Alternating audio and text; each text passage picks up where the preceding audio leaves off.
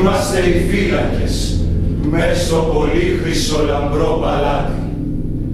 Όπως μας άξιζε, ο ίδιος ο Ξέρξης, γιος του Δαρίου και βασιλιάς, μας διάλεξε τη χώρα να προσέχουμε.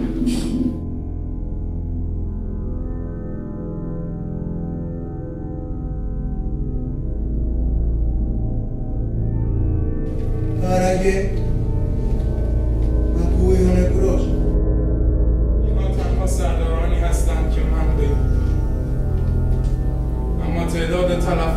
بسیار بیشتر از این است.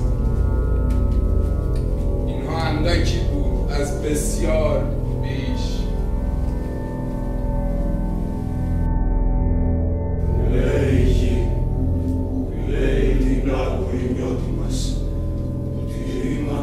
Sexist.